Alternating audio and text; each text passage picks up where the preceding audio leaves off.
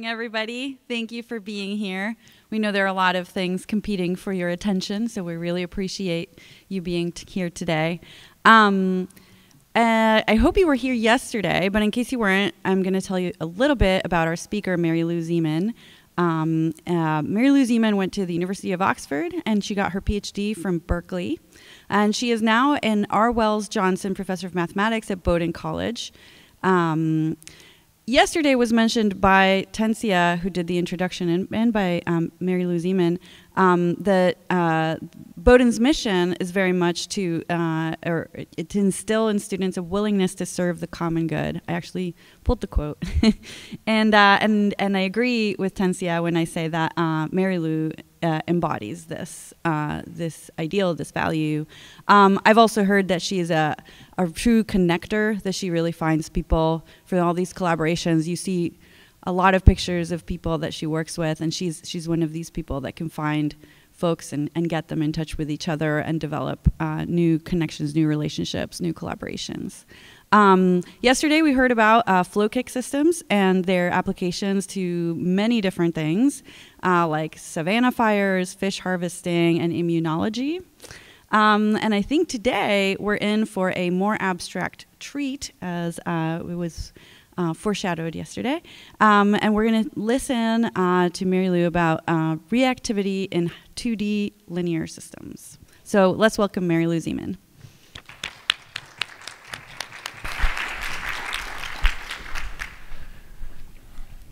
Thank you very much. I think we probably have to bring this back to life.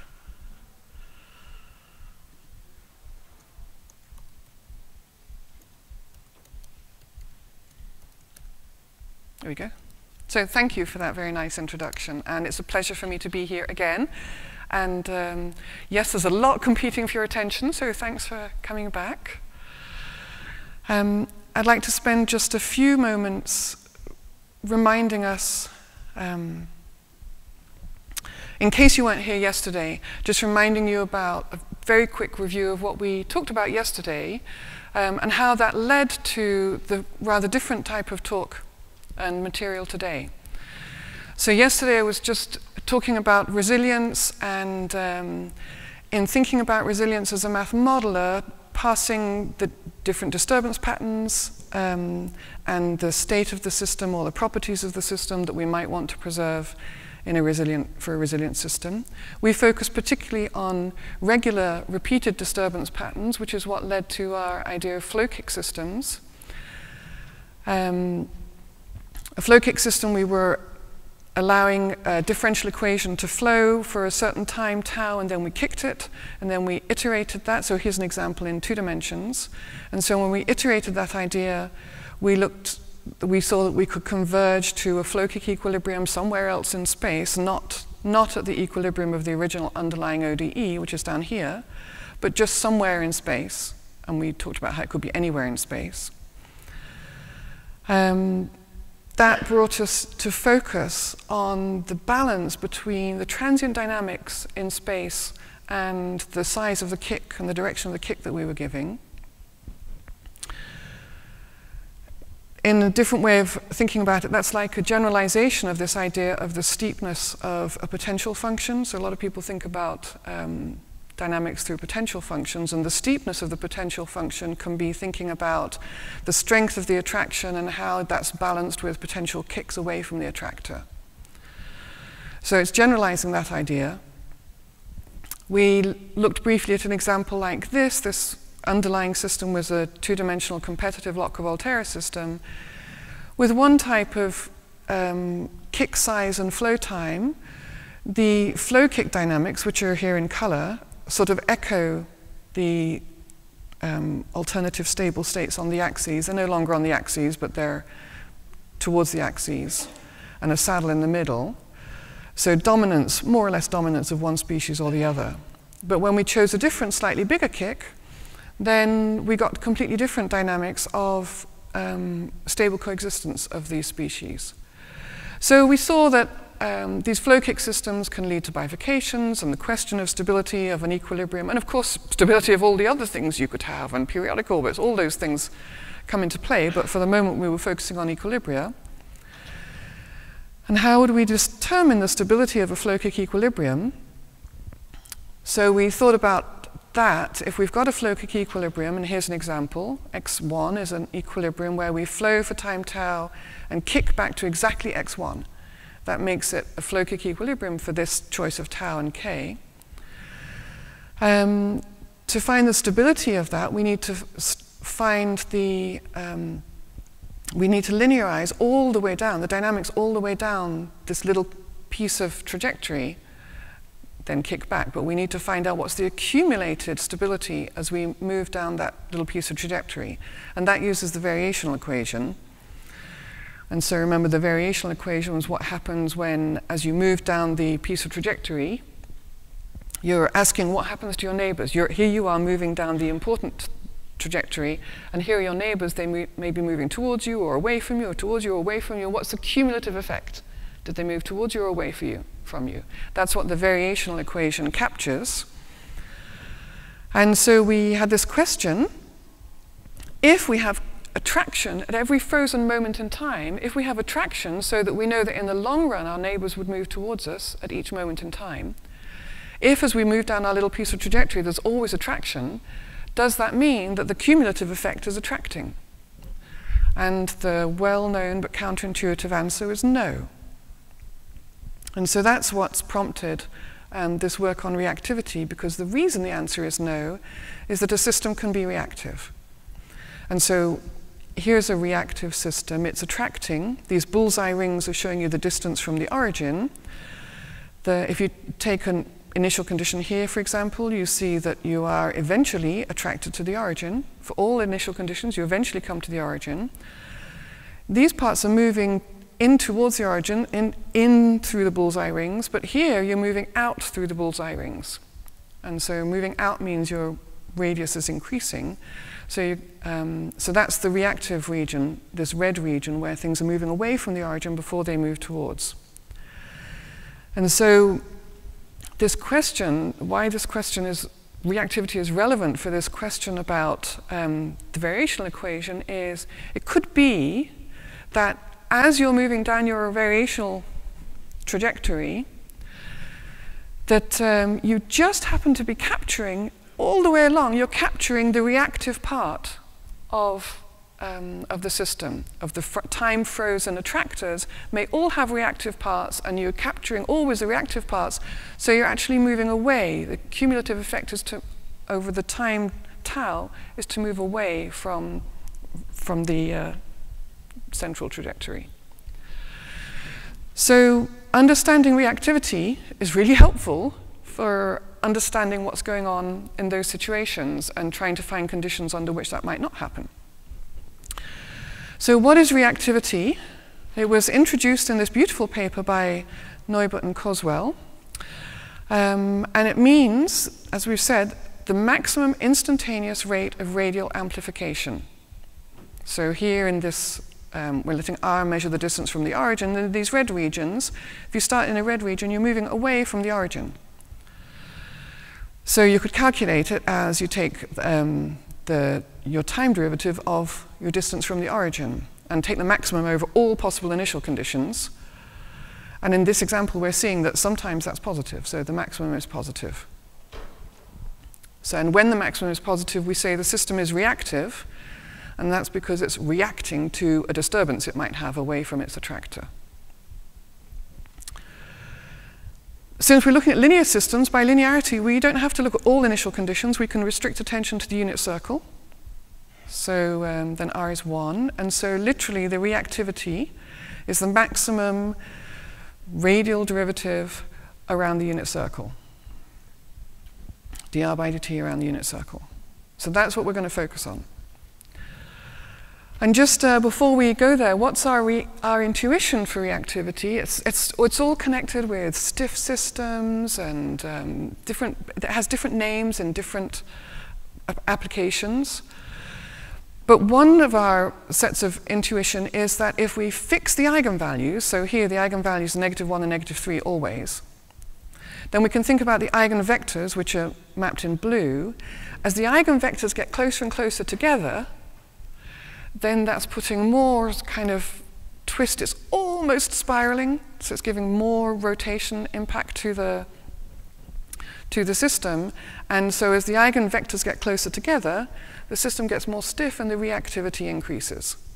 That's one of our kind of fuzzy pieces of intuition. As eigenvectors converge, reactivity increases. Alternatively, we could fix the eigenvectors, um, have them non-perpendicular. As long as they're not perpendicular, fix the eigenvectors. Then as the eigenvalues diverge, the reactivity increases. So those are our fuzzy bits of intuition about it. Um, but let's go back to actually calculating it, getting more precise.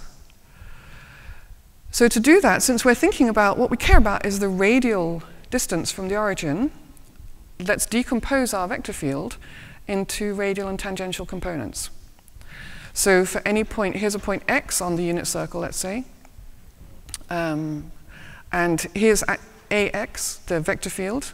It's a linear, remember it's a linear vector field, so it's a matrix times x.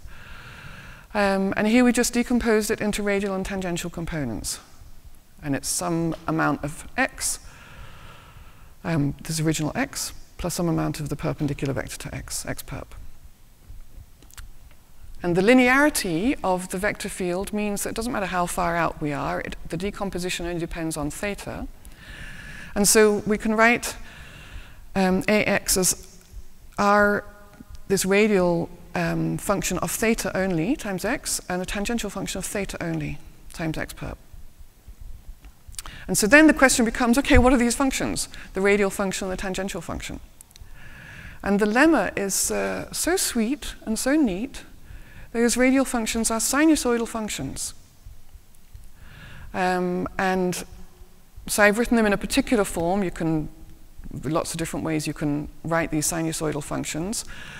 But we've written in them in the form here, where um,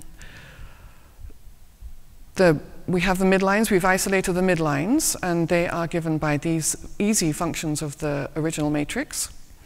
Um, they have the same amplitude.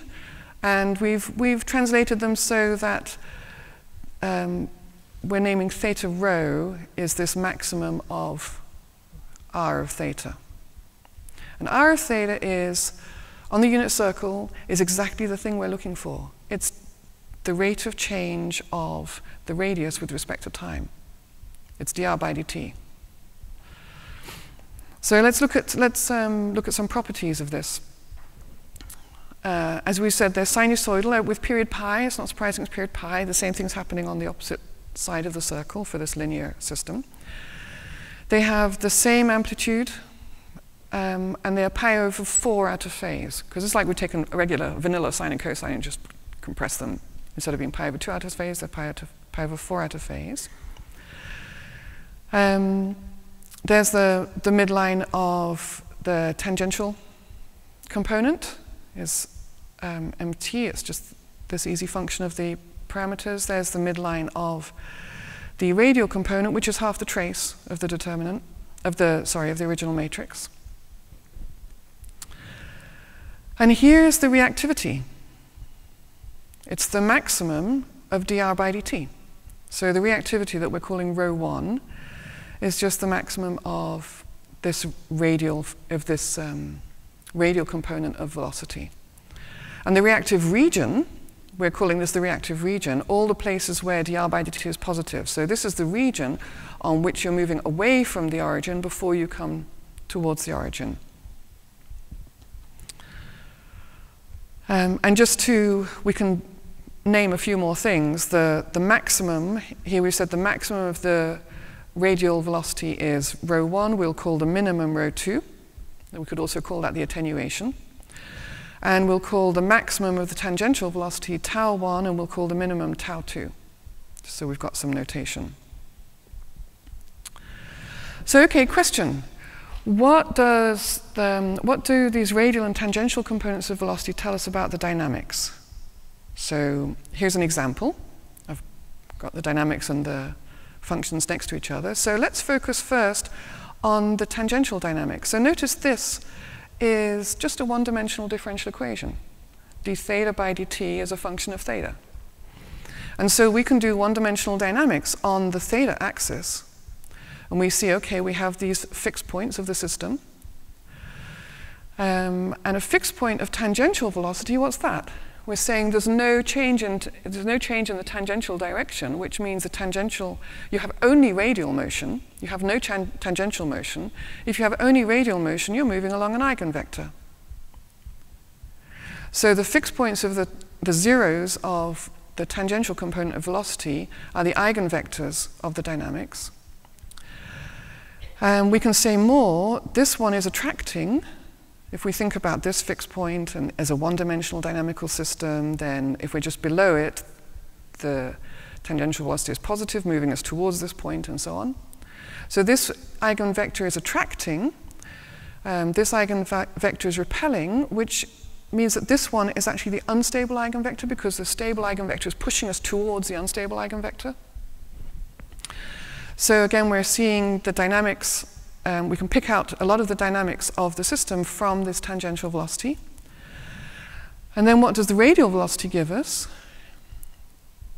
Here we were, here's an eigenvector. The radial velocity at the eigenvector is saying what speed are you moving in or out of the origin. So it's your eigenvalue. So at an eigenvector, if you go up and look to the radial velocity, you find the eigenvalues. Um, so that's telling us all kinds of lovely information that we enjoy for dynamics. So a question for you. What dynamics are these? So first question, are the eigenvalues real or complex? And the second question is, is the equilibrium, this is a linear differential equation, there's an equilibrium at the origin, is the equilibrium um, attracting or repelling or a saddle? So are the eigenvalues real or complex? The eigenvalues, remember, are at the zeros of the tangential velocities, and it has some zeros. So the eigenvalues are real. Sorry, yes, the eigenvalues are real. And then what are the eigenvalues? Are they positive or negative? At each zero, if we track down, we'll see that all the eigenvalues are negative. And so this system is attracting. Here, let's take two. Here's an eigenvector and its negative eigenvalue, eigenvector and negative eigenvalue.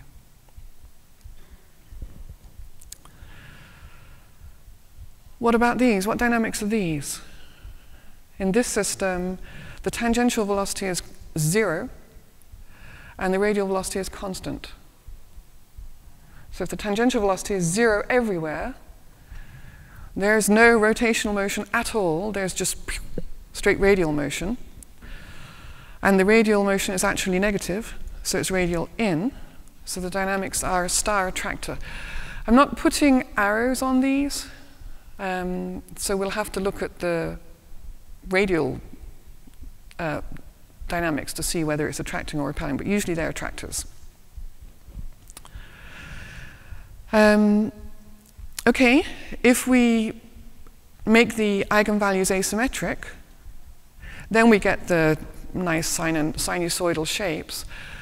But so long as the um, so long as the midline is at zero, then that means these zeros are going to be, the zeros of the tangential velocity are going to be pi over 2 apart, which means we have orthogonal eigenvectors. So it's another way of saying that um, a symmetric matrix has orthogonal eigenvectors. And if we make it symmetric but without zeros on the off diagonals, then it still has orthogonal eigenvectors, they're just rotating around. If we start with this guy again, but now let's shift the tangential velocity up. So remember the zeros of the tangential velocity are where we have eigenvectors. So if we shift the tangential velocity up, the eigenvectors are coming together. Um, and here the eigenvectors have coalesced. And now there are no real eigenvectors because there are no real eigenvalues. And so once the tangential velocity is entirely to one side of um, the theta axis, we know we've got complex eigenvalues and a spiraling equilibrium. And this, uh, the impact of shifting the tangential velocity up, of shifting the midline of the tangential velocity up, is to add counterclockwise angular velocity. This is something we'll come back to. We're, at, we're just adding more and more angular velocity all the time because we're adding um, counterclockwise rotation.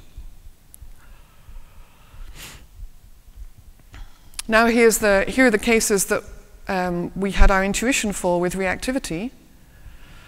Um, as the eigenvectors are converging, remember the blue represent the eigenvectors, as the eigenvectors get closer together, here's what's happening with the radial and tangential components of velocity. And so we see that the reactivity, there's no reactivity in this system. Here there's a little reactive region, bigger reactive region, the reactivity is getting higher, and so on. What about these? What are these dynamics? So this time, the reactivity is zero and the tangential velocity is constant. Sorry, I said reactivity. That's true, the reactivity is zero. The entire radial velocity is zero everywhere. So there's no radial velocity. There's no in or out. There's just tangential velocity, just rotational. So that must mean that we've got um, circular periodic orbits. So we have a center, a circular center. And now if we make this asymmetric, we get back the sinusoidal shapes. Um, but we still have a center. And so as long as the, as long as the midline of the,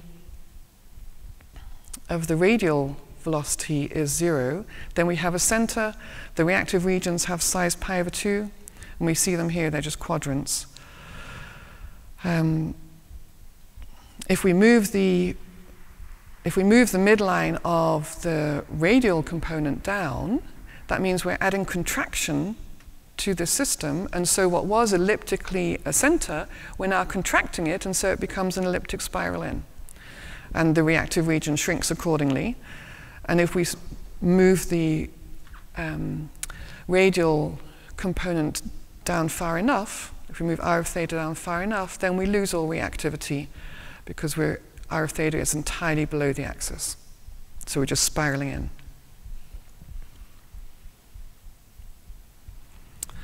So that's a lot of intuition for how we can read um, what the radial and tangential components of velocity give us.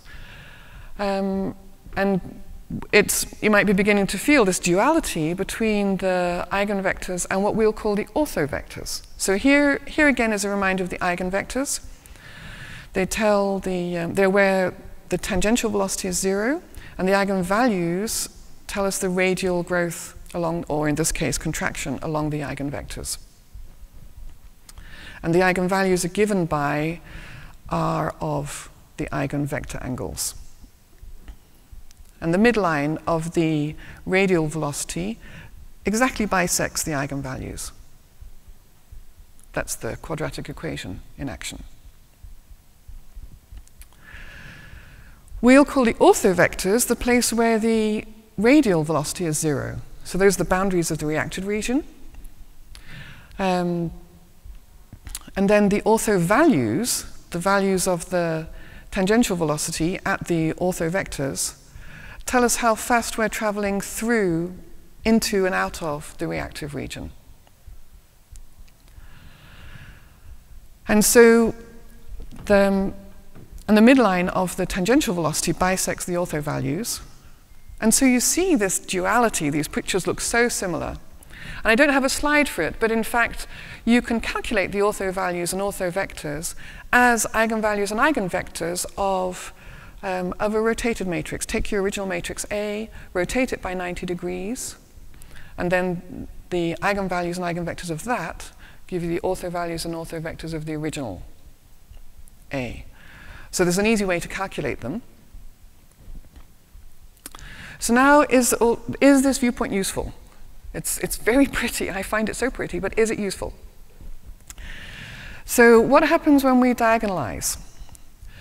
Um, and this is standard, right? When we want to understand a matrix, we diagonalize it. And when we diagonalize it, we keep track of the eigenvalues and the long run behavior, but we lose track of the angle between the eigenvectors, and therefore we lose track of the transient re reactivity. By contrast, what happens if we conjugate by rotation? Then, of course, if we just rotate a system, we're going to keep track of the eigenvalues and long run behavior, and we'll also keep track of the eigenvector separation and the transient reactivity. So if we're going to rotate, there, how much should we rotate? What are some useful amounts to conjugate by? So we could rotate to focus on the eigenvectors. This is a classic way to rotate, to put one of the eigenvectors on the x-axis. Or we could rotate to symmetrize the eigenvectors, so they're symmetric about the axes. Symmetric about the y-axis, also symmetric about the x-axis. That's classic. But if we care about reactivity, we could rotate like this we could rotate to put the beginning of the reactive region on the x-axis. Or we could rotate to put the reactive region symmetrically around the axes so that the actual reactivity, the maximum reactivity, the maximum amount of radial amplification is along the x-axis. So we have choices about how much to rotate. And um, from the point of view of these radial and tangential components of velocity, Conjugation by rotation just translates them horizontally along the theta axis. It doesn't change the height, doesn't move them up and down, doesn't change the amplitude, just rotates them. I mean, just translates them horizontally. So it's very easy to understand. So here are some standard forms um, we could choose. Here are the two that are focused on eigenvectors. Here are the two that are focused on reactivity. They're just different rotation, just different translations. Here, if we're going to put an eigenvector on the x-axis. That means we've, we've translated along so that we have a zero here of the, of the tangential velocity at theta equals zero. Here we've put the maximum of the tangential velocity at theta equals zero. Here, when we're focusing on reactivity, we've put a zero of the radial velocity at theta equals zero. And here we've put the maximum of the radial velocity at theta equals zero. So it's just how much we choose to translate along. The theorem part of it is look at these beautiful matrices. When we translate, here, what's these? These are the eigenvalues down the diagonal, and um, 2 times the midline of the, of the tangential velocity. Here's the tangential velocity, so 2 times the midline is just the difference between the off diagonals of the original matrix. Alternatively, in this one, these are the ortho values, which are the eigenvectors of some rotated matrix, but they're the ortho values of the system, and this is the trace of the original matrix. One of these guys, remember, rho 1 was the actual reactivity. Here's just a reminder.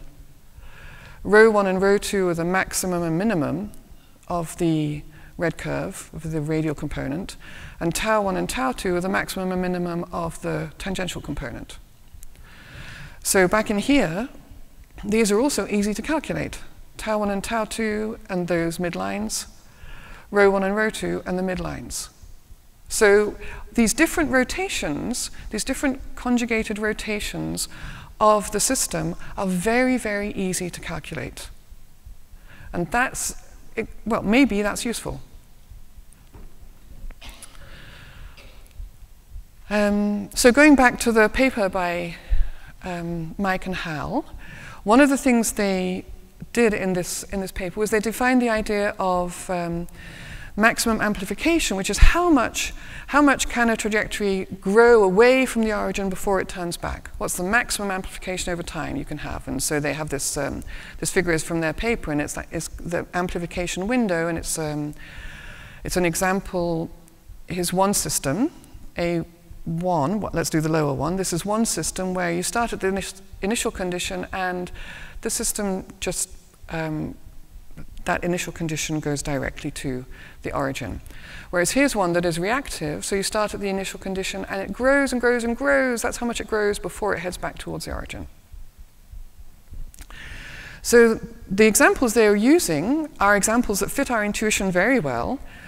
Here was um, the same eigenvalues, in both cases the same eigenvalues, an attractor with different values on the off diagonals, and those different values are what uh, the high value here is what's bringing the eigenvectors together and giving us the reactivity. So this was the reactive system, and it's in this format um, of putting the eigenvalues, rotating the eigenvalues to the x-axis. So it's a beautiful format. We have a lot of intuition for it, but it actually makes it a little challenging to capture the reactivity. Another beautiful paper, um, more recent, by Peter Harrington, Mark Lewis, and Pauline van den Driessche. They're studying the transient growth of um, population that dies off in the long run, but they show that it can grow arbitrarily large before it dies off. So that's a very interesting result. And the form of their example is like this. It centers the eigenvectors. So again, it's focused on eigenvectors and centers them, and this is a classic standard form for centered eigenvectors. And again, it makes the reactivity a little challenging to capture. So here's a question for you. Out of these standard forms, which would you use to try and capture maximum amplification?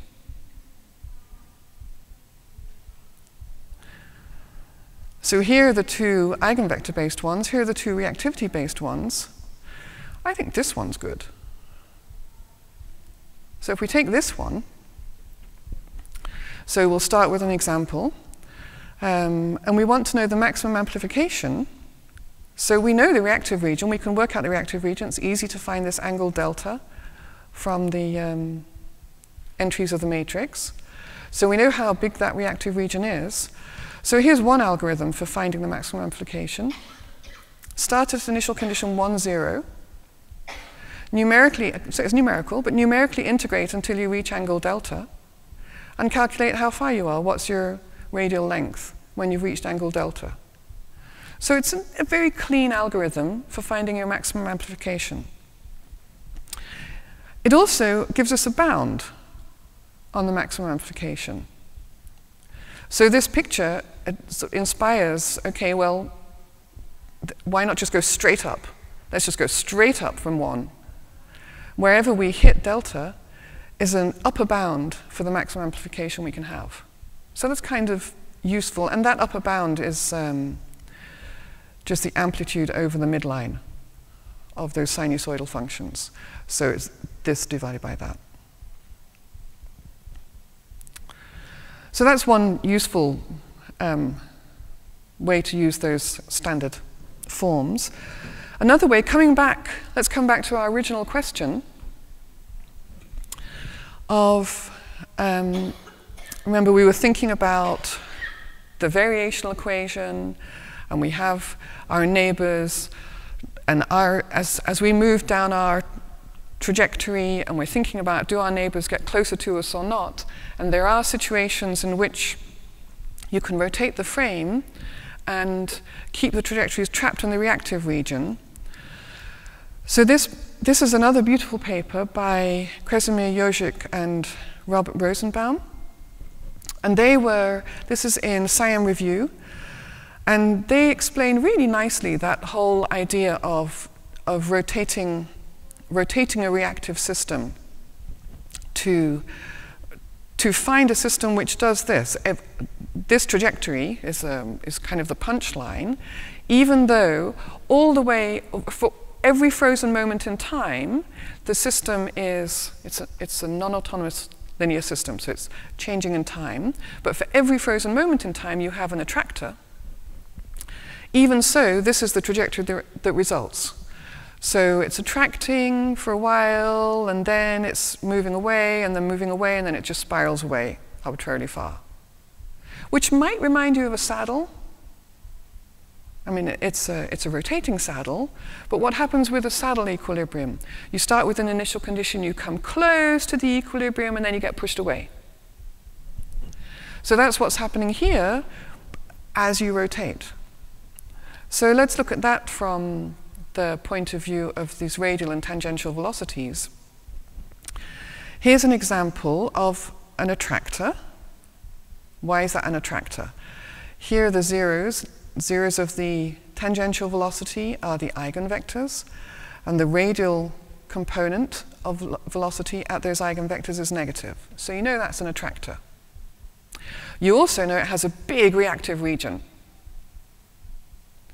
So even though we haven't drawn the dynamics here, you know what it looks like. It looks like all those examples of, of an attractor that, where you move away from the origin before you come in. An attractor that's almost um, a spiral.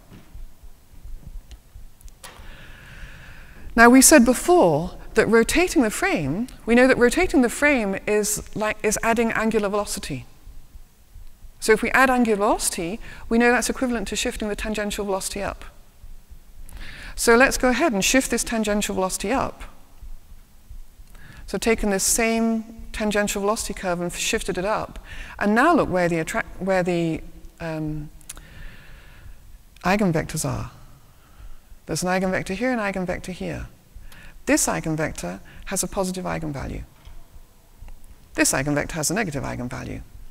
But by shifting the tangential velocity up, we've created um, an eigenvector with a positive eigenvalue. So we've turned this equilibrium in the rotating frame. This equilibrium is now a saddle. So that equilibrium has exactly this behavior of, in the rotating frame, trajectories come in towards the equilibrium and then escape. And that's exactly what we're seeing in that trajectory. So this approach also allows us to know, okay, how much? How much do you need to translate? How much do you need to translate the um, tangential velocity up or down to create this unstable eigenvector? Um, there's, there are bounds, and how much do you have to move it up or down to get the maximum um, instability in your nonlinear system, in your non-autonomous system, rotating system? So it gives us a lot of, it just gives us a bit more control than we've had before on how to harness the reactivity and use it. So I think that's um, it's a good place to stop. I should mention, I forgot to mention at the beginning, this is joint work, all of this is joint work with James Broder and Alana Haslam Hyde, who is currently a, a graduate student at Boston University, but this work grew out of her undergraduate honors thesis. So thank you guys.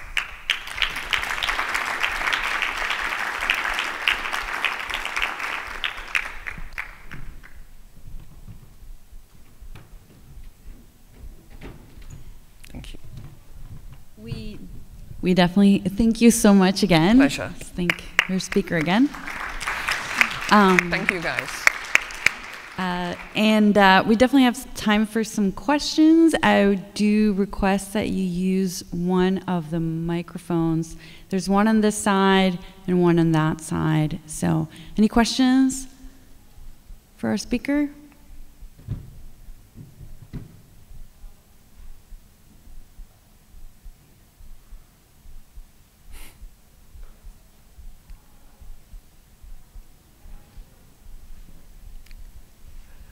You very much.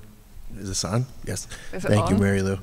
You talked about planar systems. Can you say something? Hi, that's Mike, right? Yeah. Would you like to introduce yourself? Uh, no. I'm shy. This uh, is Mike of Mike Neubert. Go ahead. You, it, that was very pretty. Thank you. Uh, I'm doing this because the, I want to see you. You talked about planar systems. Can you say something about um, how the work you've done might extend to higher dimensions? Oh, good question, yes. How, how would it extend to higher dimensions? So that's, that's really an interesting question. We've thought about it a bit in three dimensions. So if you want to separate the radial velocity from all the other velocities, all the tangential velocities, now tangential means around a sphere. And so um, you we really have to think, what we're really thinking about is the curl around that, on that sphere. So it becomes harder to work with. So it's something we're really enjoying looking at, but I don't have much to say about it yet. So up the dimensions, it's going to get less and less tractable. Um, but it is the, it's you know, one radial velocity and then your n minus one dimensional sphere and what's happening on that. Yes. Hi, Meredith. Hi, that was a fantastic talk, and the math is beautiful and wonderful. And at, near the beginning, you had papers that looked like sort of talking about resilience and seemed ecology based, yeah. maybe. And I'm wondering if you can now tie it back to us about the ways that everything you showed us might be useful in thinking about resilience or other ecological questions. Yes, absolutely. So um, I, I didn't include the slide, but of course, what it does is it gives us, so that's another direction that we're working on right now, but it gives us a new tool to say, can we, can we find new conditions under which, for example, one type, one question, immediate question, can we find new conditions under which, if we do have frozen time attraction all the way, then we know we have an, a stable attracting flow kick equilibrium, which is going to tell us something about the stability of the ecosystem that's being disturbed, right? That's our ultimate question. What's the stability of the ecosystem being disturbed? And so track back, track back, track back. Can we find conditions under which we can determine that stability? And will this, will this viewpoint and this harnessing of reactivity help us find those conditions? And um, it reminds me of um, a quote um, a friend once described to me the work of Smale versus the work of Hirsch. So what, what we showed, one of the things we mentioned here is that if you do have frozen time attraction along the way, do you always have, a, do you have cumulative attraction? No. So that's a kind of Smale type result, a, Smale type result of, can you control this thing? No, anything can happen. Give up. I'm not claiming Smale says give up, but it's sort of a bit disturbing. It's like, oh, should we, maybe we should give up. And the Hirsch type of approach is, okay, anything can happen, right, let's find conditions under which the good stuff happens. And so that's where we are now. Okay, we're looking for conditions under which we can control what happens.